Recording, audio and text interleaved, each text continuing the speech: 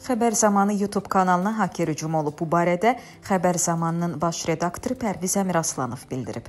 Onun sözlərinə görə bu bizim kanalı çökdürmək üçün atılan addımdır. Hakerlər tərəfindən kanalda uyğun olmayan videolar paylaşılmışdı və bəzi dəyişikliklər edilmişdi.